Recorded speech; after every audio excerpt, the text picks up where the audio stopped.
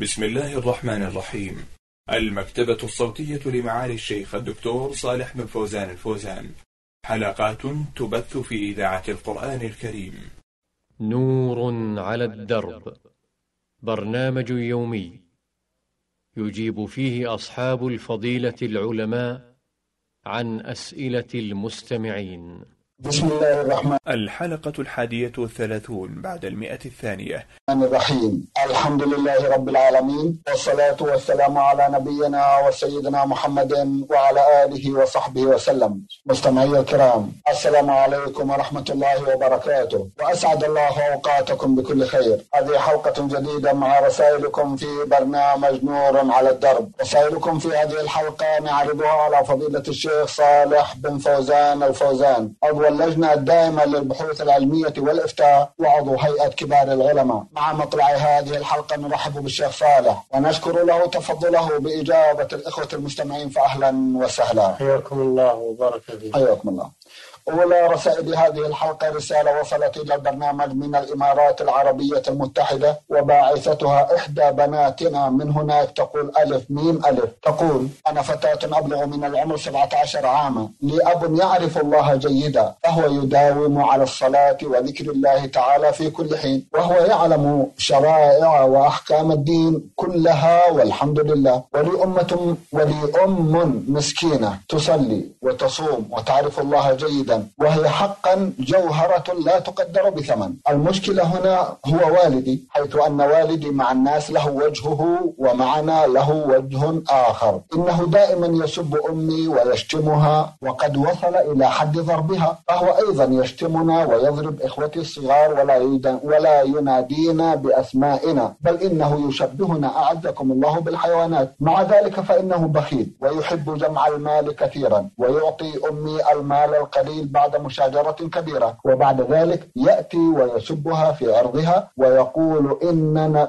ويقول إن لنا أولاد وإننا نبذر. ورغم ذلك فأمي صابرة لا يسعها إلا البكاء على حالها. نرجو أن توضحوا لنا ما جزاء أمي في هذه الحالة. وما جزاء أبي عند الله. نرجو منكم النصح وجزاكم الله خيرا. بسم الله الرحمن الرحيم. الحمد لله رب العالمين. وصلى الله وسلم على نبينا محمد وعلى آله وصحبه وبعد. ما ذكرته السائلة أو السائل عن حال والدهم فالصبر عاقبته حميدة في الدنيا والآخرة. لا سيما الصبر على أذى القريب لا سيما على أذى الوالد والزوج. لأن الصبر على ذلك استدامة استدامة للعشرة والسيرة الطيبة ولأن ذلك وسيلة إلى إلى صلاح الطرف المخطي واستصلاحه. ثم إني أوصي هذا الزوج وهذا الوالد المشتكى أن يحسن سيرته مع أهله ومع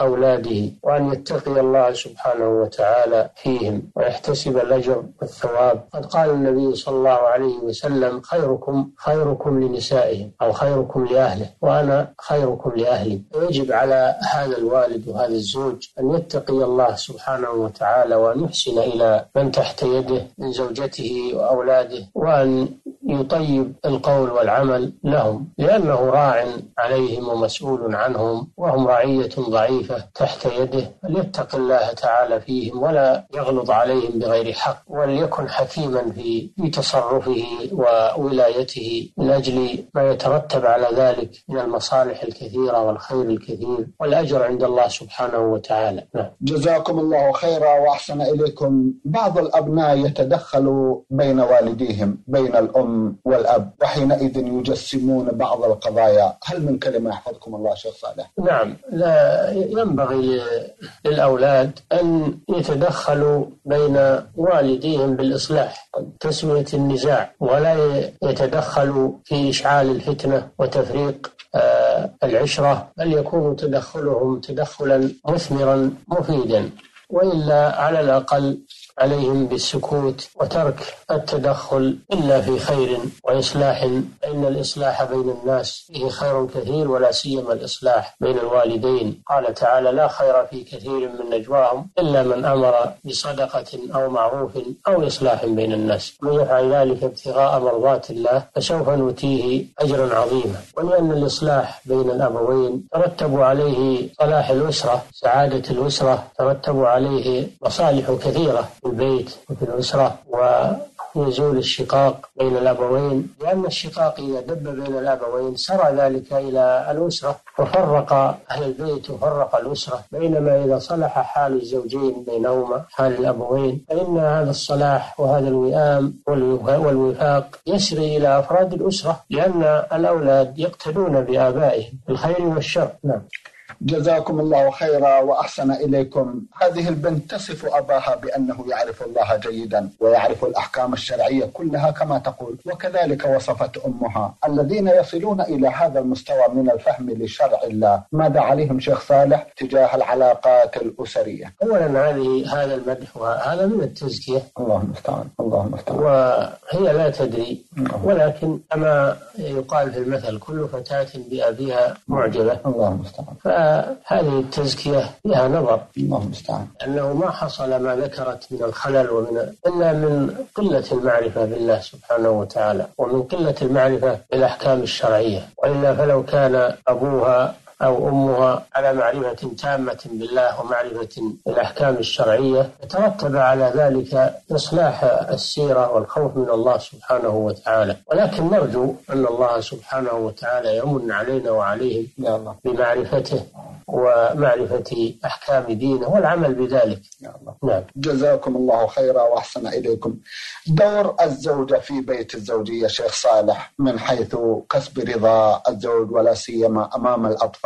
حتى لا تتجسد الأمور الزوجة يجب عليها أن تراعي حق زوجها وحق أولادها. قال صلى الله عليه وسلم والمرأة راعية في بيت زوجها ومسؤولة عن رعيتها. الله أوجب على الزوجة طاعة الزوج بالمعروف آه، والسيرة الحسنة وعدم إغضابه أو معصيته إلا في ما لا يرضي الله سبحانه وتعالى. فإن حق الزوج على الزوجة حق عظيم. والنبي صلى الله عليه وسلم يقول لو كنت آمرا أن لو كنت آمرا أحدا أن يسجد لأحد لأمرت الزوجة أن تسجد لزوجها من عظم حقه عليها. الله تعالى يقول وللرجال عليهن درجة ويقول سبحانه وتعالى الرجال قوامون على النساء بما فضل الله بعضهم على بعض وبما أنفقوا من أموالهم نعم. جزاكم الله خيرا وأحسن إليكم.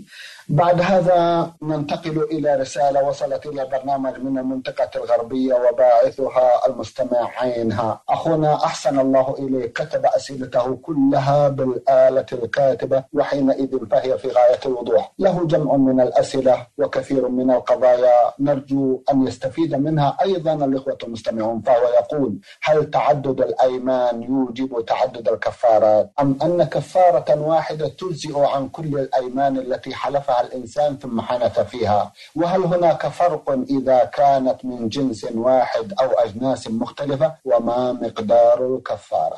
الأيمان المتكررة فيها تفصيل. طيب. أولا إذا تكررت بعد التكفير فإنها تتكرر الكفارة. لو فرضنا أنه حلف ثم كفر وحنث في يمينه ثم حلف مرة أخرى فإنه تلزمه كفارة أخرى. أما إذا تكررت الأيمان قبل أن يكفر وكانت من جنس واحد وكان موجبها واحدا فإنها تكفي كفارة واحدة. إذا فتكفي الكفارة الواحدة عن الأيمان المتكررة بشروط. أولا أن يكون تكررها قبل التكفير. ثانيا أن تكون هذه الأيمان من جنس واحد كالحلف بالله المتكرر. ثالثا أن أن يكون موجبها واحد. لتكون كفارتها واحدة. اليمين بالله عز وجل فإن موجبها واحد وهو إطعام عشرة مساكين أو كسوتهم أو تحرير رقبة من لم يجد فصيام ثلاثة أيام. أما إن اختلف موجبها كالظهار واليمين بالله فإنها لا تتداخل. الكل يمين يمين له له كفارة. وكذلك كما ذكرنا إذا حلف بعد التكفير فإنها تتكرر الكفارة عليه أيضا.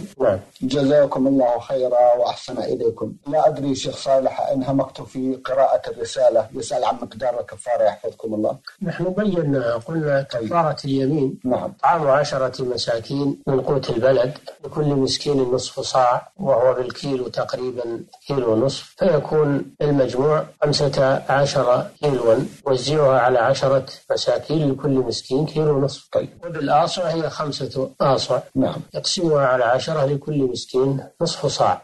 سواء كان من التمر أو من البر أو من أي طعام يؤكل في البلد. أو كسوة عشرة مساكين نعم. كل مسكين ثوب. طيب. أو عتق رقبة أي اعتاق عبد مملوك مؤمن عبد مؤمن مملوك يعتقه لله عز وجل. هذه الثلاث مخير فيها. أي واحدة فعلها أجزأت طيب. وأفضلها العتق فإن لم يجد شيئا من هذه الثلاث فإنه يصوم ثلاثة أيام. وذلك لقوله تعالى كفارته قال تعالى لا يؤاخذكم الله باللغو في أيمانكم ولكن يؤاخذكم بما عقدتم الأيمان. كفارته إطعام عشرة مساكين من أوسط ما تطعمون أهليكم أو كسوتهم أو تحرير رقبة. فمن لم يجد فصيام ثلاثة أيام ذلك كفارة أيمانكم إذا حلفتم. واحفظوا أيمانكم. كذلك يبين الله لكم آياته لعلكم تشكرون. فإذا لم يجد واحدا من هذه الثلاثة كما سبق فإنه يصوم ثلاثة أيام. بعض الناس يغلط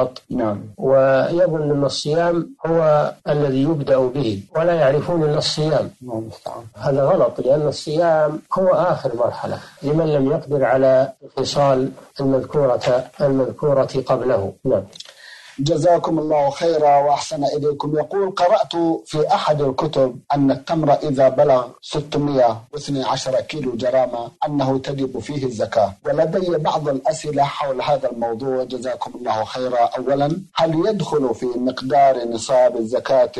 في هل يدخل في مقدار نصاب زكاة التمر؟ ما يأكله المزارع وأهل بيته وما يتصدق به وكذلك ما يهديه؟ أولا مقدار نصاب التمر كما جاء في الحديث خمسة أوسق طيب. والوسق ستون صاعا بالصاع النبوي طيب. فيكون إذا المجموع 300 صاع بالصاع النبوي طيب. 300 صاع نعم. بالصاع النبوي طيب. والصاع النبوي يقارب ثلاث كيلو. طيب. الكيلوات المعروفة الآن. نعم. فإذا بلغ التمر هذا المقدار أو أكثر وجبت فيه الزكاة وهي العشر إذا كان هذا التمر يسقى بدون مؤونة. طيب. أو نصف العشر إذا كان يسقى بمؤونة. طيب. وكلفة. طيب. آه، بقية السؤال؟ بقية السؤال يقول هل يدخل في مقدار نصاب الزكاة ما يأكله المزارع وأهل بيته وما يتصدق به؟ وكذلك ما يهديه الذي ينوب المزارع آه، من النوائب ما يأكله هو وأولاده قبل جذاذ التمر أو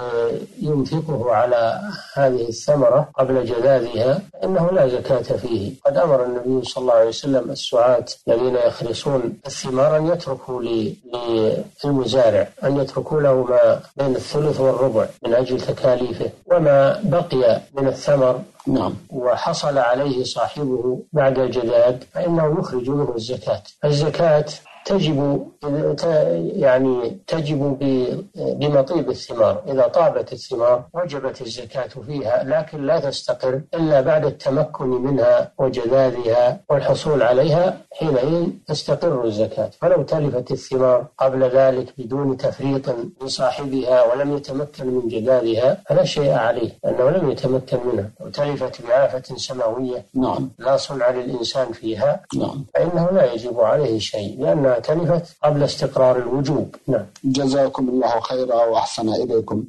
إذا ما يأكله المزارع وأهل بيته وما يتصدق به وكذلك ما يهديه لا يدخل في النصاب شيخ صالح ما يأكله قبل قبل استقرار الوجوب. قبل استقرار الوجوب. إيه. نعم. متى يستقر الوجوب يحفظكم الله؟ بالجذاذ بالجذاذ تمكن منها. وجعلها في البيدر كما يقول الفقهاء. يحفظكم الله. نعم. من المعلوم كما يقول أخونا أنه تستغرق عملية الجذاذ الحصاد فترة من الزمن فهي تستغرق شهرا أو أكثر. فمتى أخرج الزكاة؟ هل في أول الحصاد أم في آخره؟ يخرج الزكاة إذا استولى عليها وحصل عليها بالجذاب إنه يخرج الزكاة منها. وإن أخرجها قبل ذلك فلا بأس. طيب. نعم. إذا لا يشترط أن آه، ينتهي من جذاذ التمر من النخيل كله ثم يخرج الزكاة؟ لا يشترط هذا. لا يشترط. نعم. سواء بلغ النصاب أو لم يبلغ؟ الذي لم يبلغ النصاب ليس فيه زكاة. أحسن الله إليكم. جزاكم الله شروط الوجوب نعم.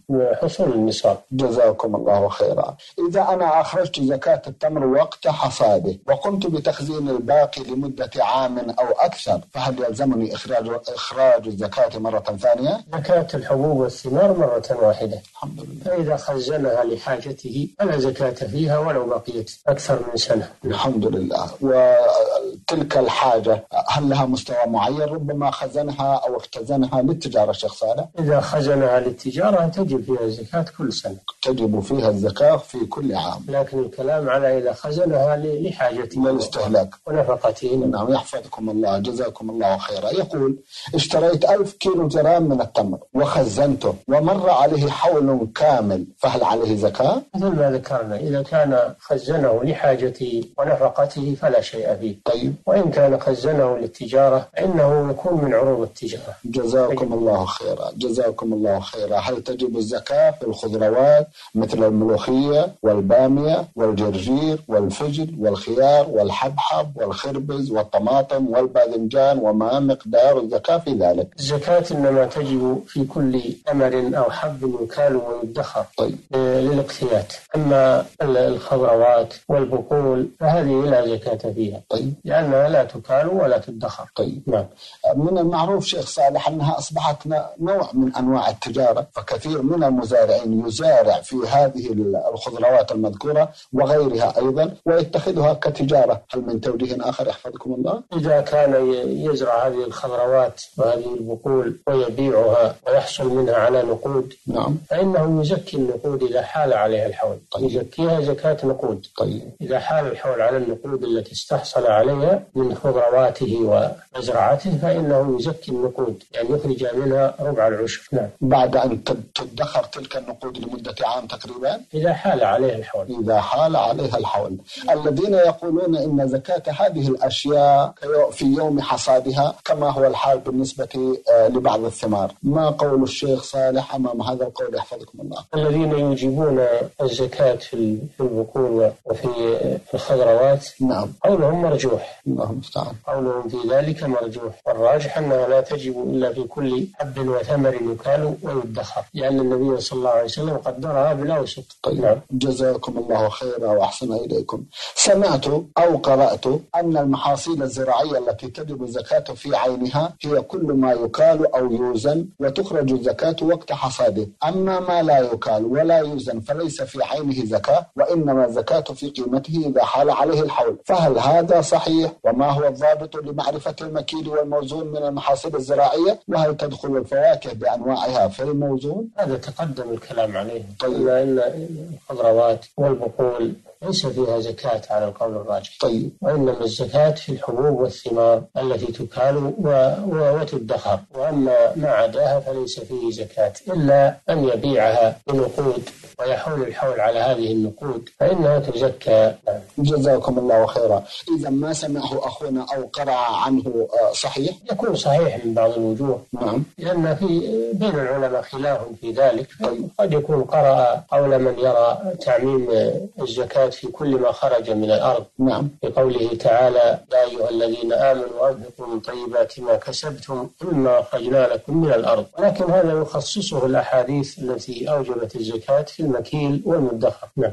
جزاكم الله خيرا وأحسن إليكم شخص يمتلك سيارات لنقل الماء والخضروات والبرادات والركاب. فهل على هذه السيارات زكاة وما مقدارها؟ نعم. شخص يمتلك سيارات لنقل الماء والخضروات والبرادات والركاب فهل على هذه السيارات زكاة وما مقدارها؟ الزكاة التي تعد للأجرة ليس فيها زكاة.